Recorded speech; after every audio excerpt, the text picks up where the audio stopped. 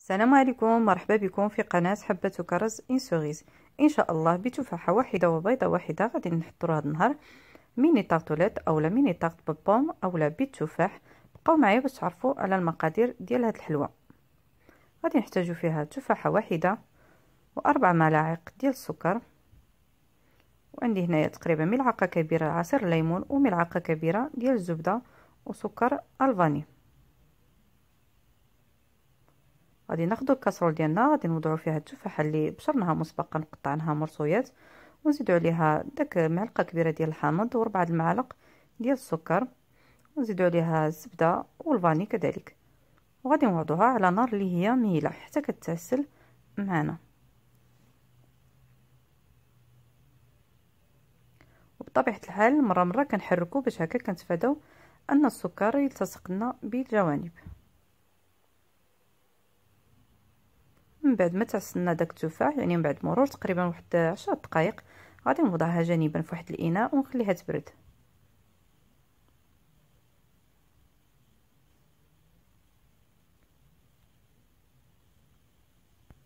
أما بالنسبة للاباط فغادي نحتاجو فيها نصف كاس ديال الزبدة مذابه وعندنا كاس مع مرش ديال السكر وبيضة واحدة وعندنا هنا معلقه صغيرة ديال الخميرة الكيماوية وعندنا هنايا جوج كيسان ديال الدقيق. واحد الاناء غادي ناخذ البيضة. غادي نزيدو عليها السكر. ما يعادل تقريبا 80 غرام. إن شاء الله في صندوق الوصف غادي نخلي لكم مقادير بالغرام كذلك. هنايا غادي نحاول أنني نمزجهم حتى كنحصل على واحد الخليط اللي تقريبا متجانس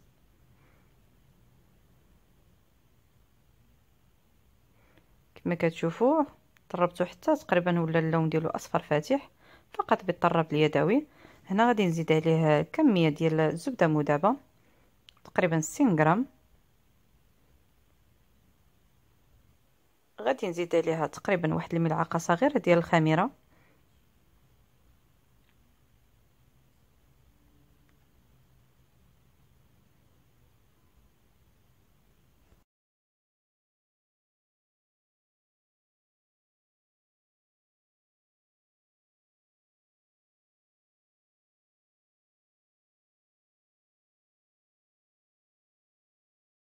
أما بالنسبة للدقيق فإحنا غادي نضيفوه تدريجيا. غادي يقدر ياخذ لكم ما بين جوج كيسان حتى جوج كيسان وربع على حسب نوع ديال الدقيق حيت كاين الدقيق اللي كيشرب وكاين اللي ما كيشربش بزاف.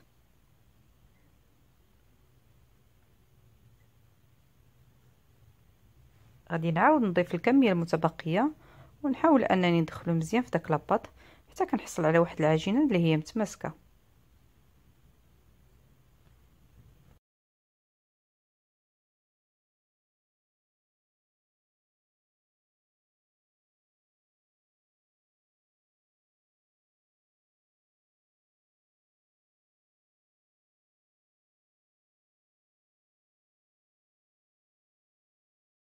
بعد ما حصلت على عجينة اللي هي متماسكة غادي نحاول نحيد منها واحد الثلث. نوضعه في الثلاجة والثلثين المتبقيين فأنا غادي نخدمهم مباشرة. ما غاديش نوضعهم في الثلاجة.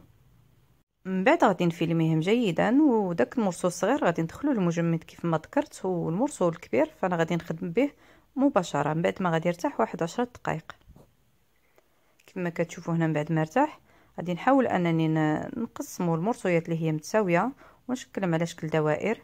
تقريبا هنايا خرجت لي ستة ديال الدوائر.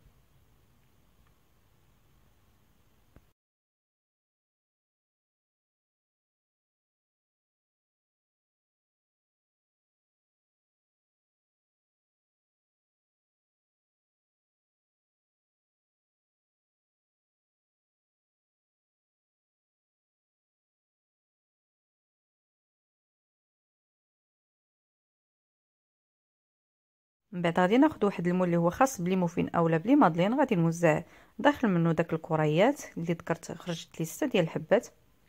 ونحاول أنني نقرصهم شوية بيديا حتى كياخذوا شوية la forme. وبمساعدة واحد الكأس غادي نشكل واحد الحفرة. باش هكا كنضمن أنني ملأت جميع الفراغات.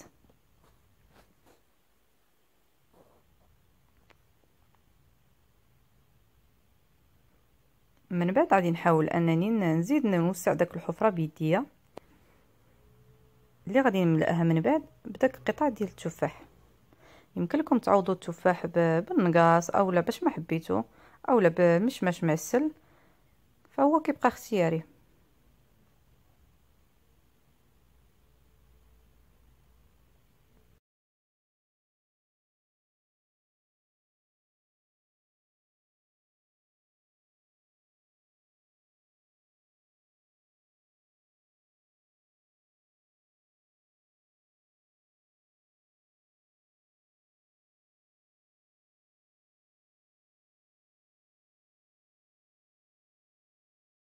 من بعد غادي نخرج داك المرسول الأول اللي وضعته في المجمد ونحاول أنني نبشرو. هذا علاش وضعته في المجمد؟ باش هكا يساعدني أنني نبشرو بكل سهولة ما يعذبنيش في الخدمة. كما كتشوفوا فهو كيتبشر بكل سهولة. هنا غادي نوضع قطعة ديال ديال التفاح اللي عسلتهم وبطبيعة الحال خليتهم حتى بردوا مزيان باش هكا ما يخسروليش لاباط. نحاول أنني نوزعهم بكمية اللي هي متساوية. باش هكا يجوني نفس القد ونفس العبار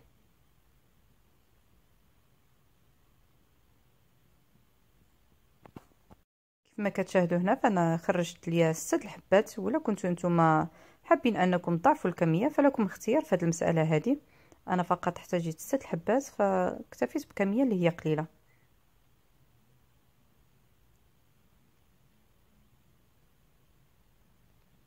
وكاضافه جمالية فأنا هنايا غادي نزيد داك الكمية ديال ديال la pâte اللي حكيتها مسبقا في الجوانب كيف ما كتشاهدوا ما كنحاولش أنني نضغط عليهم بزاف يعني غير كتوضعوهم.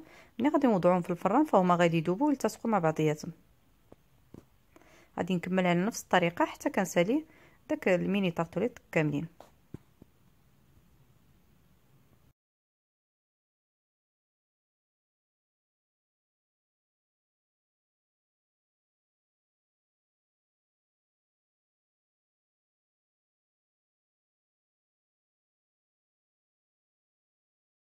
بعد ما ساليتم غادي ندخلهم في الفران اللي هو مسخن على درجة حرارة 180 من الفوق ومن التحت ونخليهم يطيبوا على خاطرهم تقريبا واحد 20 دقيقة كيكونوا واجدين معنا.